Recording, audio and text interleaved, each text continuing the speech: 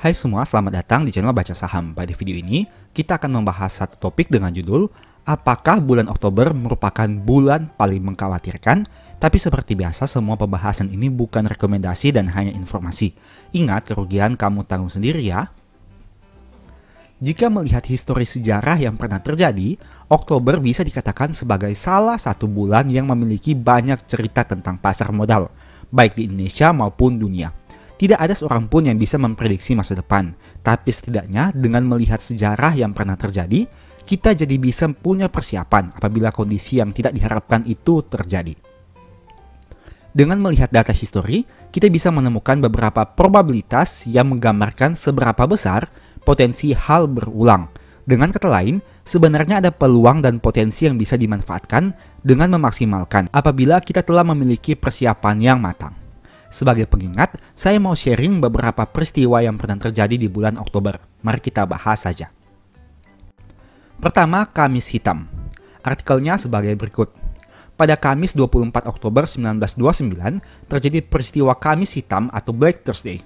Ketika pasar saham dibuka, sudah terjadi penurunan 11% yang memicu penjualan panik dari para investor.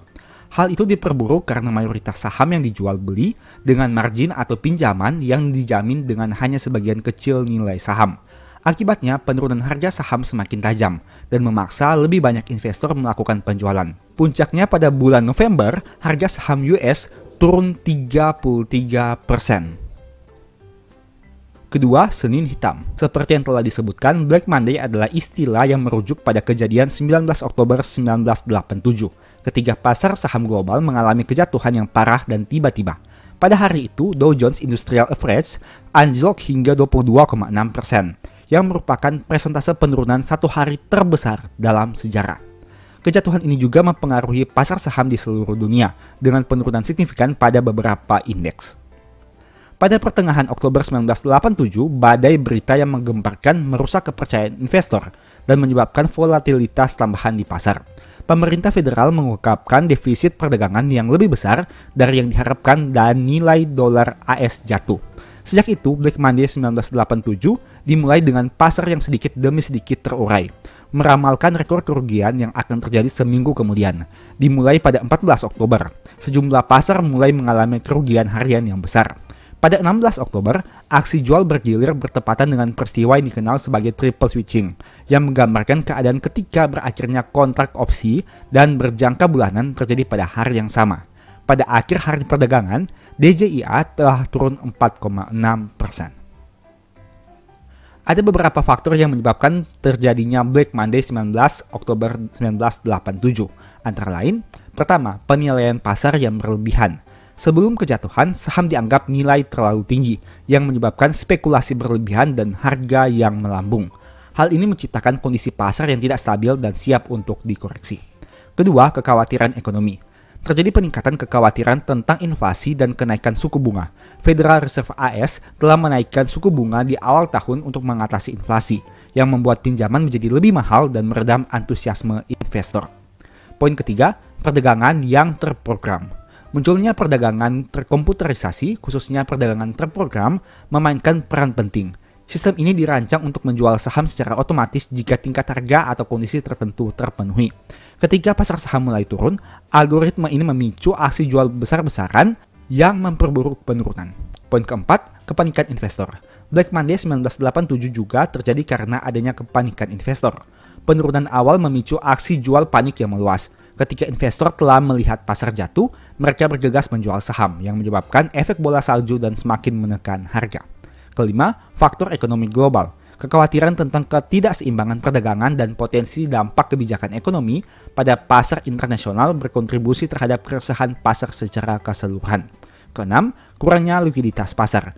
Ketidakmampuan pasar untuk menyerap volume penjualan yang tinggi menyebabkan penurunan tajam karena tidak ada cukup pembeli untuk mengimbangi tekanan jual.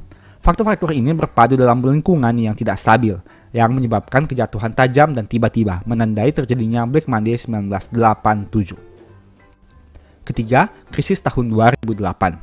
Seperti data yang kamu lihat ini, data sejak tahun 2008 hingga tahun 2024. Nah, terjadi hal yang menarik pada tahun 2008, di mana secara bulanan IHSG turun 31,42% di bulan Oktober, Angka ini menjadi penurunan terbesar jika kamu lihat dalam data beberapa tahun terakhir. Nah, secara tahunan di tahun 2008, IHSG turun 50,5 persen, yang mana 31,4 persen disumbang oleh bulan Oktober.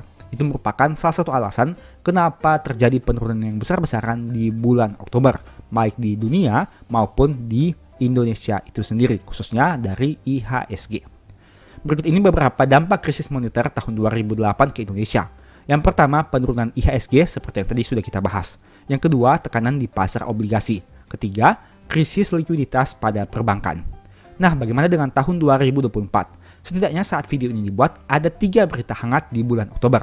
Tapi sebelum itu, kamu bisa lihat dengan data yang tadi kita bahas. Baik itu krisis di Indonesia pada tahun 2008 terjadi di bulan Oktober, yang mana harga saham turun signifikan. Begitu juga ada peristiwa Black Monday dan peristiwa Black Thursday. Kamu bisa lihat dengan tiga data yang sudah pernah terjadi ini, baik di dunia maupun di Indonesia. Apakah bulan Oktober merupakan bulan yang mengkhawatirkan? Jika melihat secara sejarah bisa dikatakan seperti itu. Tapi jika kamu amati lebih jauh lagi, sebenarnya pada beberapa tahun terakhir di Indonesia sendiri khususnya untuk IHSG, bulan Oktober bisa dikatakan tidak semengkhawatirkan itu. Karena pada beberapa tahun terakhir seperti tahun 2019, 2020, 2021, dan 2022, bulan Oktober terjadi kenaikan IHSG. Dan hanya di tahun 2023 terjadi penurunan 2,7 persen sehingga kita tidak tahu apakah di tahun 2024 ini akan mengulangi peristiwa di tahun 2023 yang terjadi penurunan ataukah terjadi kenaikan harga saham dan indeks harga saham gabungan. Nah, sekarang kita akan lihat beberapa tiga berita hangat di bulan Oktober. Yang pertama, adanya kemungkinan BI memangkas suku bunga acuan lagi di bulan Oktober tahun 2024 ini kita tahu tentu bahwa penurunan suku bunga ini akan bergantung juga dengan keputusan The Fed. Sehingga kita akan lihat apakah terjadi penurunan lagi di bulan Oktober untuk suku bunga acuan. Jika hal ini terjadi, kemungkinan besar akan berdampak kepada pasar saham dan ekonomi secara keseluruhan. Berita kedua adalah terkait pelantikan presiden dan wakil presiden. Berdasarkan data yang ada di Google, akan dilakukan pada tanggal 20 Oktober tahun 2024 Hal ini juga bisa memberikan sentimen, entah itu positif ataupun negatif, terhadap harga saham, dan hal itu juga bisa saja dimanfaatkan oleh spekulan-spekulan untuk memanfaatkan peluang yang ada, baik itu secara momentum ataupun potensi ke depannya secara jangka panjang. Dan berita ketiga, terbitnya laporan keuangan Q3 tahun 2024 untuk beberapa perusahaan. Seperti yang kamu tahu, untuk terbitnya laporan keuangan per data Q3 bisa mulai dari bulan Oktober dan seterusnya sehingga kita bisa melihat di sini akan terjadi lonjakan untuk saham-saham tertentu, baik itu kenaikan ataupun penurunan.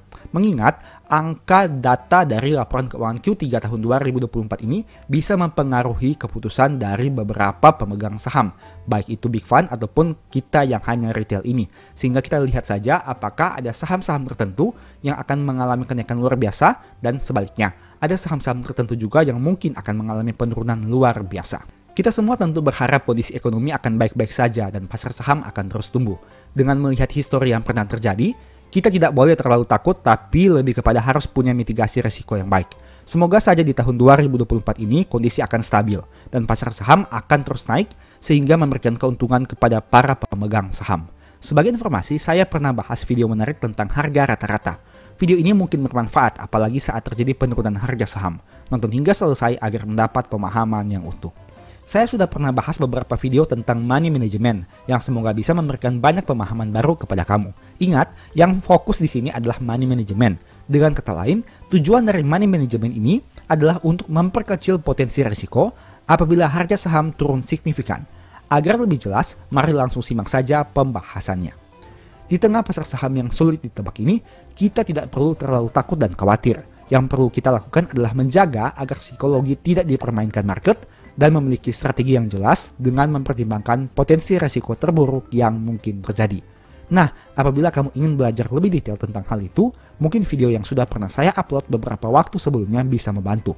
Silahkan ditonton dan semoga ada manfaat baru yang kamu peroleh. Saya tertarik juga membahas lebih jauh tentang money management, terutama money management saat harga saham turun signifikan.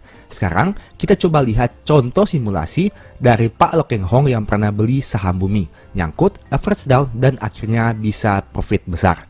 Tanpa basa-basi lagi, mari kita lihat contohnya seperti apa. Kali ini kamu bisa baca bahwa di tahun 2012 harga saham bumi sekitar Rp1.000, tapi kemudian turun hingga menyentuh angka 50 perak. Saat kondisi itu terjadi, LKH terus membeli saham bumi dan melakukan average down. Pada akhirnya saham ini naik ke angka 500 dan LKH mampu keluar dari situ. Artikel lengkapnya adalah sebagai berikut. Bisa kamu baca berdasarkan tampilan yang ada berikut ini. Dari contoh itu ada dua kondisi pergerakan harga saham. Pertama, saat harga saham turun dari 1000 ke 50, berarti terjadi penurunan sekitar 95%. Itu artinya jika diasumsikan LKH beli saham bumi di harga 1000, berarti floating loss-nya mencapai 95%. Meski begitu, kita hanya berasumsi saja, karena tidak tahu secara pasti di harga berapa dia membeli saham ini. Kondisi kedua, harga saham bumi yang sebelumnya tidur di gocap tiba-tiba naik hingga ke angka 500 dan LKH berhasil keluar di situ. Artinya terjadi kenaikan harga saham sekitar 900% saat saham bumi terbang ke 500. Pertanyaannya, agar LKH bisa memperoleh keuntungan minimal 100% padahal sebelumnya nyangkut besar, bagaimana caranya? Apabila kita asumsikan LKH membeli saham bumi di harga 1000, melakukan average down di harga 50, dan menjualnya di harga 500. Artinya, untuk memperoleh keuntungan sekitar 100%, LKH butuh average down minimal 20% dari harga pembelian awal. Lebih jelasnya silahkan lihat tabel di bawah ini. Misalnya, harga belinya adalah 1000 dan kita asumsikan membeli satu lot saja. Berarti total nominalnya adalah 100 ribu rupiah. Nah, jika dia membeli lagi di harga 50, dia harus membutuhkan mengeluarkan uang untuk membeli 4 lot agar bisa memperoleh harga rata-rata 240. Nah, untuk pembelian 4 lot ini membutuhkan dana sekitar 20.000, yang berarti 20% dari dana awal yang dia keluarkan yaitu 100.000. Asumsi ini hanya simulasi saja dan mungkin tidak sesuai dengan realita yang terjadi karena saya menggunakan dua harga saja, yaitu diasumsikan LKH melakukan pembelian pertama di harga 1000 dan average down di harga 50. Tentu saja data harga rata-rata dan jumlah dana yang dibutuhkan akan berubah apabila terjadi average down pada beberapa harga selain Rp50. Tapi setidaknya dengan data ini kamu memperoleh gambaran bagaimana melakukan money management khususnya dari kasus LKH ini. Apabila hanya menggunakan data ini saja, berarti untuk memperoleh keuntungan sekitar 100% saat menjual sahamnya di harga 500, harga rata-rata sahamnya harus di bawah 250, karena kenaikan dari 250 ke 500 adalah 100%. Dengan asumsi pembelian awal sebanyak 100 lembar atau satu lot, berarti dibutuhkan average down 400 lembar atau 4 kali lipat lebih banyak pada harga 50 agar harga rata-ratanya menjadi 240 seperti yang saya sudah sampaikan tadi. Artinya dengan harga rata-rata 240, apabila harga sahamnya naik menjadi 500, berarti keuntungan yang diperoleh sekitar di atas 100%. Meski begitu kamu bisa lihat bahwa dana yang dibutuhkan untuk membeli di harga 50 lebih rendah dibandingkan di harga 1000. Padahal lembar saham yang dibutuhkan untuk memperoleh harga rata-rata 240 adalah empat kali lipat lebih besar dari harga 1000. Pada contoh ini kita hanya gunakan asumsi satu lot saja agar mempermudah perhitungan. Intinya yang mau saya tunjukkan di sini adalah bagaimana dampak dari average down yang akan mempengaruhi harga rata-rata pembelian. Tentu saja average down tidak bisa dilakukan dengan sembarangan. Coba kamu bayangkan bagaimana jika LKH langsung all in average down saat harga saham di angka 500. Tentu saja harga rata-ratanya bukan lagi 240, tapi menjadi di atas 500 per lembar saham. Inti dari simulasi ini adalah kamu bisa melihat hubungan antara harga pembelian awal dan jumlah dana yang dibutuhkan untuk average down. Semakin besar dana awal yang kamu keluarkan, membuat dana average down yang dibutuhkan akan semakin besar juga apabila penurunan harga saham tidak terlalu jauh. Pada contoh simulasi ini beruntungnya, harga saham turun 95% dari 1000 ke 50. Jadi di harga 50, dana yang dibutuhkan hanya 20% dari dana awal. Padahal lembar sahamnya harus 4 kali lipat lebih banyak. Coba kamu simulasikan sendiri, bagaimana jika harga saham yang kamu average down hanya turun 50%. tentu saja dana yang dibutuhkan akan menjadi lebih besar. Saya sudah sempat mengatakan di video-video sebelumnya bahwa money management yang baik menurut saya pribadi akan jauh lebih berguna dibanding metode yang hebat. Kenapa? Metode yang hebat mungkin membantu kamu untuk membeli di harga yang terbaik. Tapi money management lah yang akan menyelamatkan kamu saat harga saham bergerak di luar prediksi atau terjadi penurunan yang sangat signifikan. Karena pada intinya tidak ada metode yang 100% tepat. Jika analisa kita tepat tentu tidak masalah. Tapi bagaimana jika analisa meleset? Plan B apa yang sudah kamu rencanakan selanjutnya? Itulah fungsi money management yang sebenarnya. Bukan untuk mencari profit paling besar, tapi untuk meminimalisir agar jangan sampai rugi terlalu banyak. Sebagai informasi, kalau kamu mau belajar tentang money management lebih detail, mungkin ebook di stock market dan strategi nabung saham ini bisa membantu. Di sana ada pembahasan terkait money management yang mungkin bisa bermanfaat bagi kamu. Info pembelian silahkan chat saja di nomor WA di akhir video. Pada video ini saya tentu tidak akan mengulangi pembahasan tadi, tapi akan membahas dari sudut pandang yang lebih luas. Ada satu hal menarik yang ingin saya garis bawahi tentang metode nabung saham, yaitu harga rata-rata. Poin ini jarang dibahas dan bahkan sering dilupakan. Bagi kamu yang sudah sering nonton video baca saham, kamu tentu sudah tahu bahwa saya sering mengkaitkan metode nabung saham dan dividen investing, di mana dalam jangka panjang, jika mengumpulkan lembar saham semakin banyak, akan ada saatnya dividen menjadi semakin besar juga. Nah, di video ini, saya tidak akan bahas topik itu lagi, tapi akan membahas dari sisi harga rata-rata. Harga rata-rata merupakan suatu harga yang akan kamu peroleh apabila rutin membeli saham. Artinya semakin rutin kamu beli saham, harga rata-rata juga akan semakin sering berubah. Apabila harga beli kamu semakin tinggi, harga rata-rata semakin tinggi juga. Tapi apabila harga beli kamu semakin rendah, harga rata-ratanya juga akan semakin rendah. Intinya, untuk memperoleh harga rata-rata yang cukup ideal, kamu perlu mengusahakan untuk membeli saham pada harga yang lebih rendah. Pertanyaannya, bagaimana caranya? Ada beberapa strategi yang mungkin bisa kamu gunakan. Pertama, mencari bulan dengan probabilitas kenaikan harga paling rendah. Dari data ini kamu bisa lihat bahwa saham BBRI punya probabilitas kenaikan paling rendah di bulan April, Juni, dan September. Saya mengambil contoh saham BRI, tapi kamu juga bisa gunakan saham yang lain. Kamu bisa lihat di sini bahwa pada bulan April, probabilitas kenaikannya hanya 30% pada bulan Juni 44% dan pada bulan September 44%. Dalam 12 bulan terakhir, hanya tiga bulan ini yang punya probabilitas kenaikan di bawah 50%. Artinya kamu bisa memanfaatkan hal ini untuk melakukan pembelian saham. Kedua, mencari bulan dengan penurunan harga paling tinggi. Dari data ini kamu bisa lihat bahwa harga saham BRI pernah turun di atas 10% pada bulan Maret, April, Juni, September, dan November. Kamu bisa lihat bahwa pada bulan Maret tahun 2020 harganya turun 27,9%.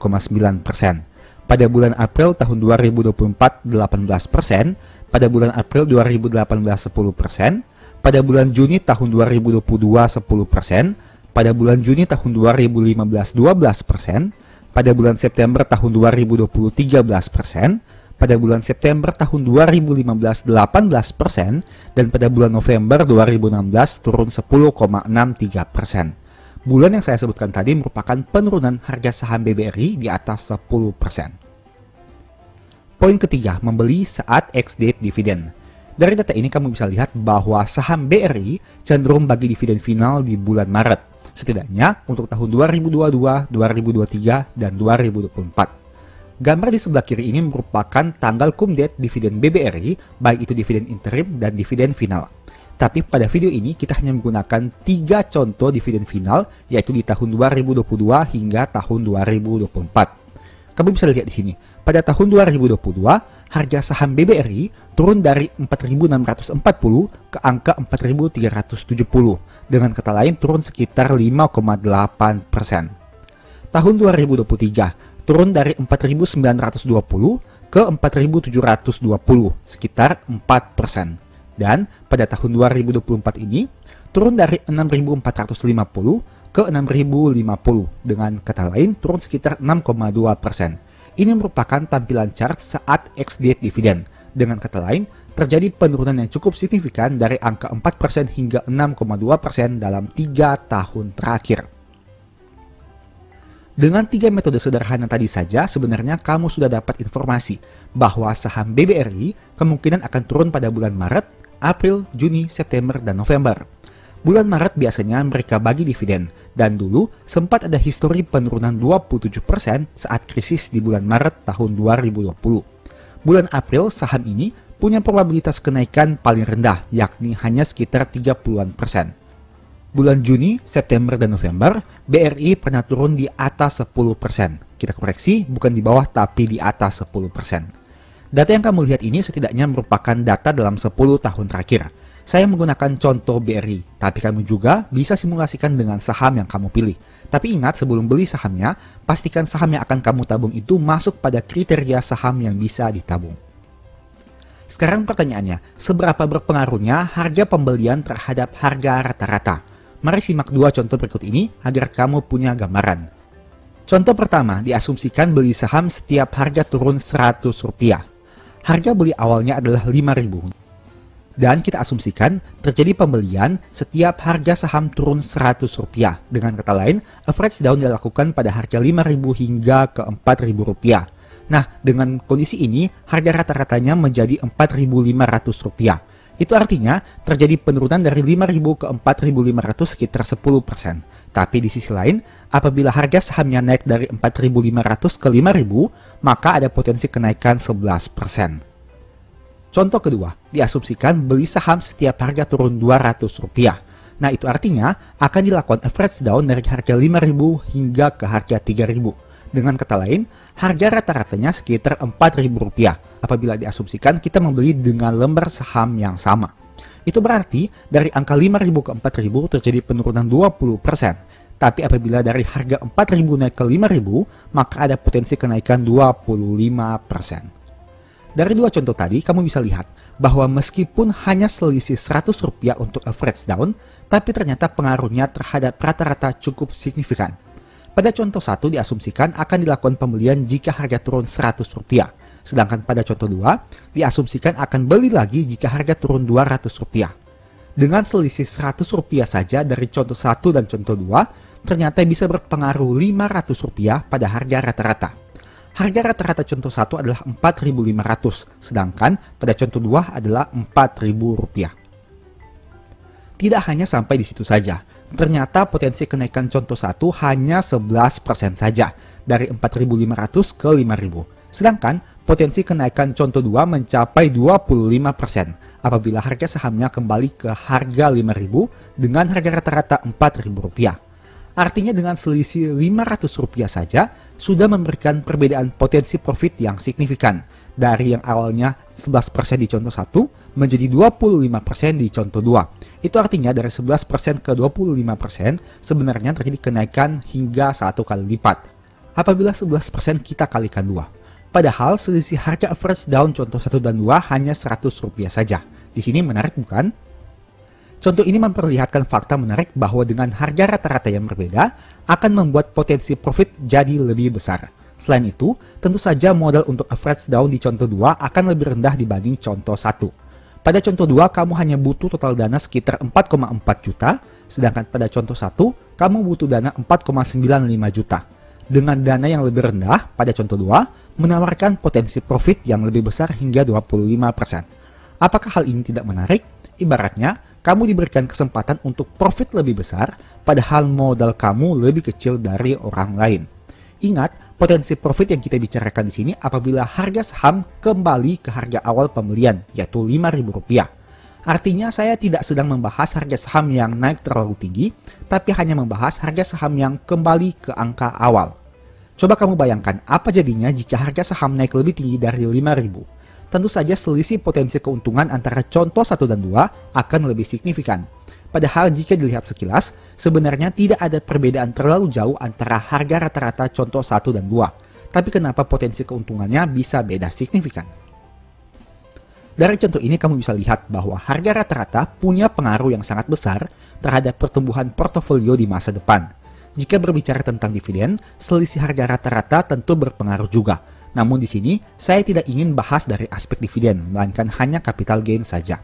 Inti dari pembahasan ini adalah saya mau tunjukkan bahwa jangan sembarangan average down. Selalu punya dana ekstra untuk membeli di harga yang lebih rendah. sehingga berpotensi memperoleh harga rata-rata yang jauh lebih rendah. Gunakan money management yang baik agar dana kamu tidak cepat habis. Jangan latah average down hanya karena lihat harga saham sudah turun sedikit. Pertimbangkan kemungkinan terburuk bagaimana jika harga saham turun lebih dalam. Apakah masih punya dana untuk melakukan pembelian? Tidak ada yang salah dengan average down asalkan kamu tahu saham apa yang kamu beli. Masalahnya banyak orang yang kurang yakin dengan sahamnya sehingga pada akhirnya takut sendiri. Floating loss 5% biasa saja, tapi saat floating loss 20%, pikirannya jadi aneh-aneh. Pada akhirnya bukan average down tapi di cut loss. Padahal kinerja perusahaan masih tumbuh dan tidak ada masalah apa pun di perusahaan. Alhasil, saat harga berbalik naik, mereka hanya bisa gigit jari karena sudah terlanjur cut loss dan batal memperoleh keuntungan yang maksimal. Statement yang saya sampaikan sini bukan hanya teori tapi pengalaman pribadi. Saya juga pernah mengalami hal itu sehingga saya bisa menceritakannya dengan yakin. Tapi, dari kejadian itu saya jadi belajar banyak hal baru yang tentunya membuat portofolio bisa tumbuh lebih optimal di masa depan. Pengalaman itu saya bahas lebih detail di ebook Stock for Living. Ada juga beberapa tips yang bisa dilakukan agar tidak galau saat harga saham mengalami penurunan. Tentu saja tips itu berdasarkan pengalaman pribadi karena saya juga pernah mengalaminya sendiri. Untuk info pembelian silahkan chat saja di nomor WA di akhir video.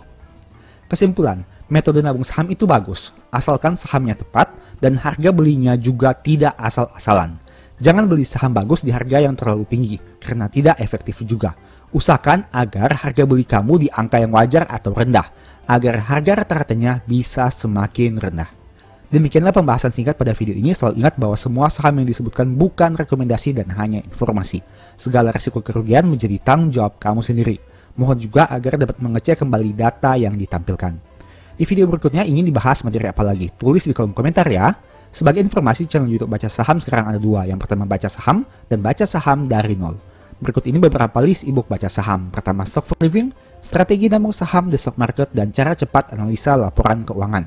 Apabila tertarik, chat saja pada nomor WA yang ada. Sekian video ini, semoga bermanfaat. Thank you.